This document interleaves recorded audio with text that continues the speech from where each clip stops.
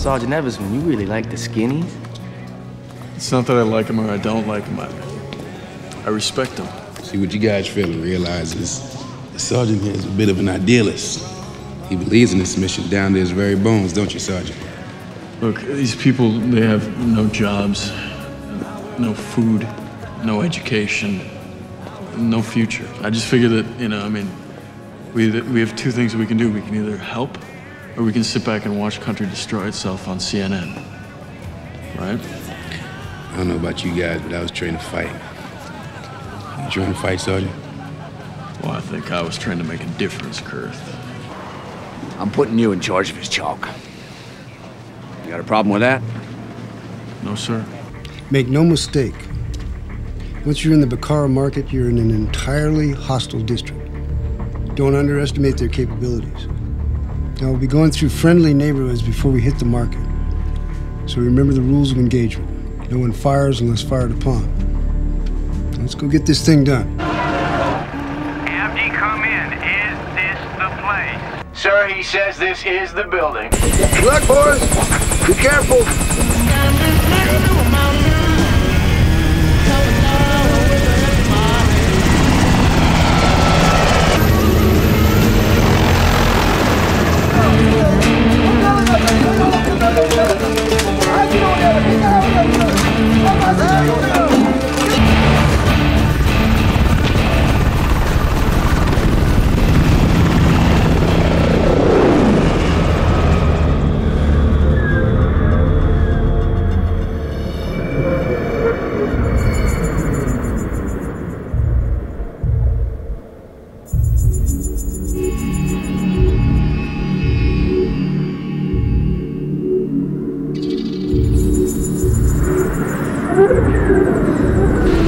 Why are they burning tires? Signals to the militia that we're coming!